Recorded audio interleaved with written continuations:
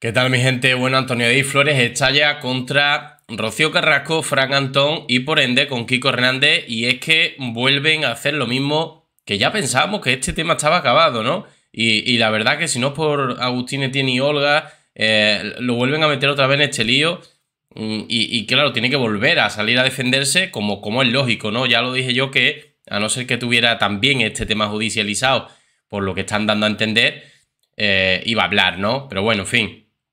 La cuestión, parece ser que se utiliza Rocío Carrasco con una mordaza en blanco y negro, ¿no? Una, eh, bueno, en psicología el blanco y negro se usa con alguien que, ha fallecido, ¿no? En las portadas de las revistas, en los periódicos y demás, se pone como blanco y negro y la mordaza roja para destacar, digamos, esa violencia de género que en tal caso habría sufrido.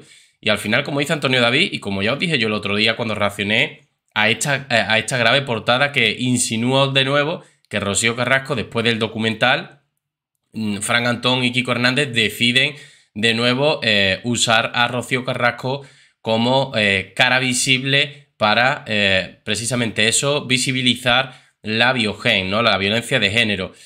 Recordar que siete jueces estuvieron en una instrucción mm, investigando Antonio Ay Flores durante tres años y que ni siquiera hubo indicios de todo esto. Evidentemente, Antonio Ay Flores ha explotado. Vamos a ver qué es lo que ha dicho desde su canal de YouTube, que como sabéis se llama Antonio David Flores, eh, para el que quiera seguirlo, ¿vale? Ahí tenéis el directo entero, nosotros vamos a reaccionar a un extracto y vamos a ver qué es lo que ha dicho con respecto a esta portada, eh, que bueno, creo que nos ha sorprendido a todos, ¿no? Pero creo que explica bastante bien eh, el asunto, es, que aquí no hay más pero, la justicia ha hablado, ¿no? Pero vamos a escucharlo. Esta fotografía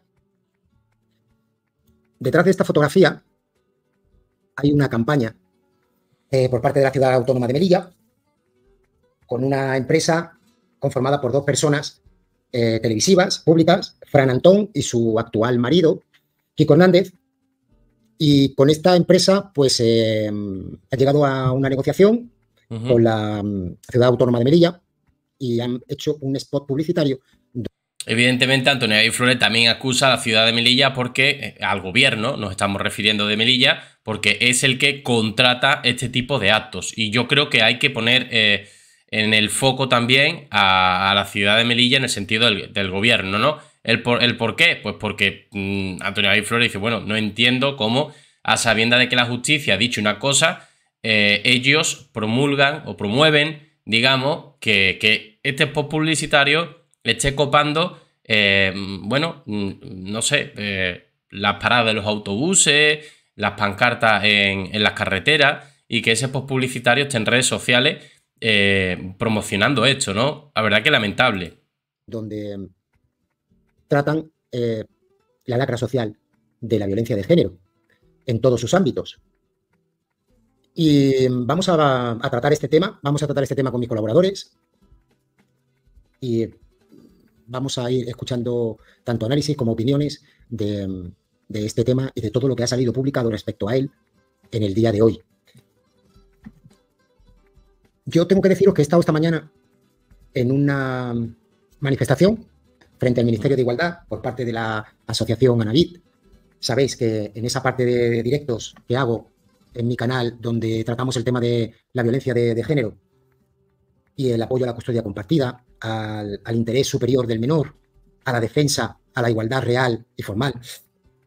Dentro de esa sección, pues eh, el vicepresidente eh, Jesús convocó hace ya algún tiempo esta manifestación y bueno, pues han ido muchos padres, muchas madres, muchos abuelos.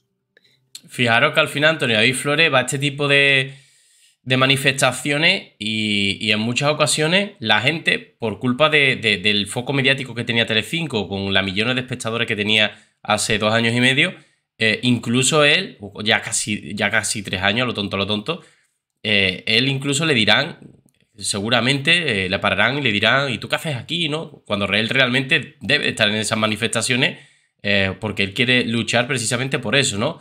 Eh, cuando realmente se quiere vender todo lo contrario, que él es el malo de la película, ¿no? Y me han recibido con un cariño, con un cariño extraordinario. Desde aquí les envío un abrazo muy fuerte a todos y un beso. Y mañana vamos a tener esas imágenes en este directo y obviamente vamos a, enlazarlo con, con, este tema. Porque créanme que hay bastante similitud, pero una similitud eh, en el caso de Anavit, como asociación que defiende todo esto que os he comentado anteriormente, la custodia compartida, el interés, superior del menor y la lucha por la igualdad real entre mujeres y hombres.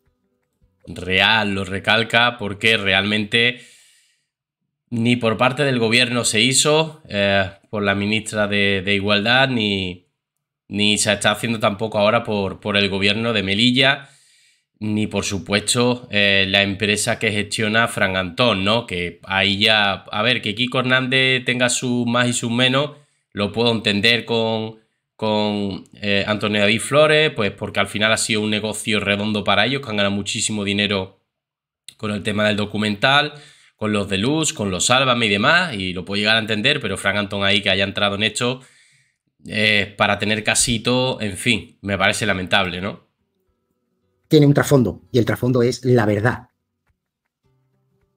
No digo que el trasfondo de estas campañas, concretamente la campaña de la ciudad autónoma de Melilla, eh, a través de este spot publicitario sobre la violencia de género, no lo sea, pero quizás hay una persona que ha sido abanderada de la violencia de género o sea, él en ningún caso está diciendo que no se hable de la violencia de género ni se le dé visibilidad.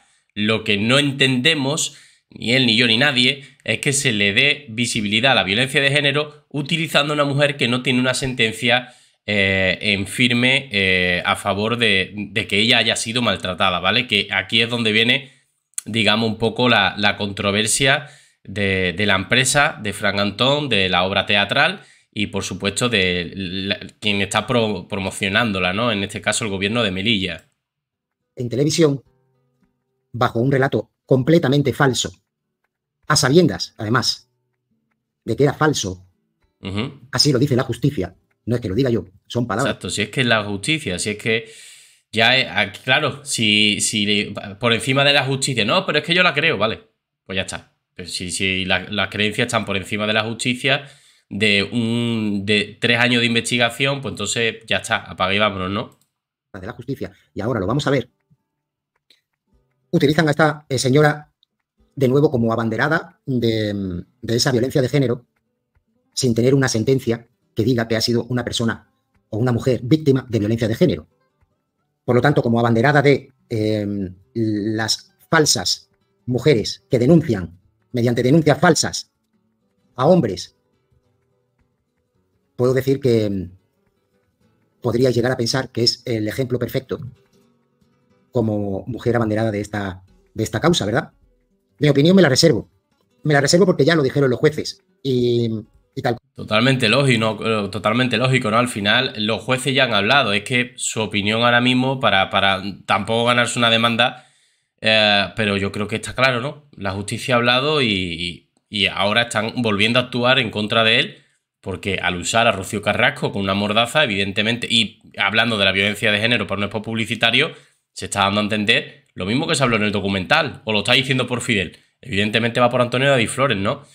Bueno, hasta aquí el extracto. Hemos, eh, si queréis ver el resto de directo, está, está bastante interesante. Bueno, ya lo comentan con, Francisco y compañía, que están ahí de colaboradores. Eh, y bueno, esto sería un poquito, en breve resumen, lo que, lo que ha comentado Antonio David Flores sobre lo que le parece a él, que, bueno, al final tanto un gobierno, eh, en este caso de Melilla, como en su momento lo hizo también el gobierno de España con, ese documental apoyando a Rocío Carrasco, ya no solo la ministra de Igualdad, sino que en teoría también Pedro Sánchez lo hubiera llamado, en fin, eh, eh, no sé si eso se llegó a confirmar 100% o no. Y, nada, esta es un poco su opinión sobre el asunto, ¿no? Evidentemente se está quejando de que no, no ve lógico esto cuando la justicia ha hablado, ¿no? Y bueno, tras casi tres años del documental, seguimos hablando de nuevo de este tema, o sea, lamentable. Mi gente, nos vemos en el siguiente vídeo, dejen vuestros comentarios, un saludo.